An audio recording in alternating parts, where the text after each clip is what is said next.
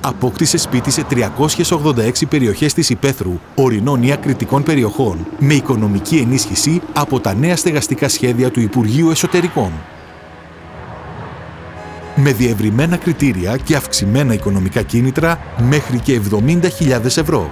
Επιπλέον μέχρι και 25.000 ευρώ για ειδικές κατασκευές. Υποβολή αιτήσεων μέχρι τις 31 Δεκεμβρίου.